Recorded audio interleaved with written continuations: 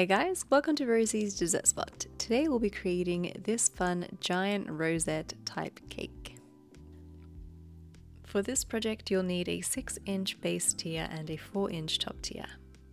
I've already stacked and crumb coated my 4 inch, you can see at the very base there uh, the whisper of a little 4 inch cake board. So there are cake boards underneath the top tiers and then cover it completely with buttercream. Smooth it out, fill in any pockets as you go. And then when you're happy with the finish, drag that top lip towards the middle. You want to pop this cake into the fridge for at least three hours or into your freezer for half an hour. In the meantime, we can work on our bottom tier. Again, this is a six inch that we're using here. Stacked and crumb coated, I'm applying that final layer of frosting in pink buttercream. I added just a touch of pink gel food color to achieve this particular tone.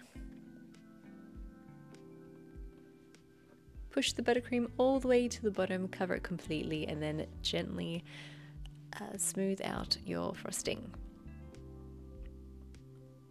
Bring that top lip to the middle and then you can refrigerate it if you like for another 20 minutes before you go in with a 1M piping tip. Try to start with the piping tip position directly in the middle of the cake, that way as you create the ruffle it'll be even. It was a little bit low to start, but that's okay, we actually um, took that particular layer off later.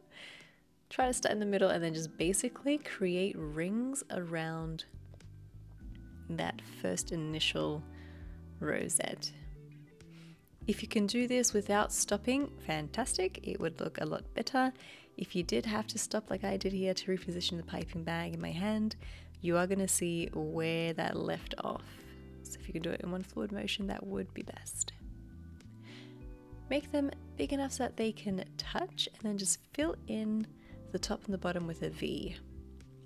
I was not happy at all with the very first one, so I just scraped it off. It's a very forgiving design, it'll get covered anyway, mm. so.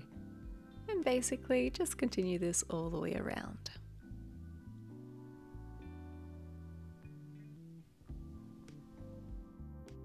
Once your whole cake has been covered, you can refrigerate it if you like for another 20 minutes just to set that buttercream in case you touch and dent it by accident.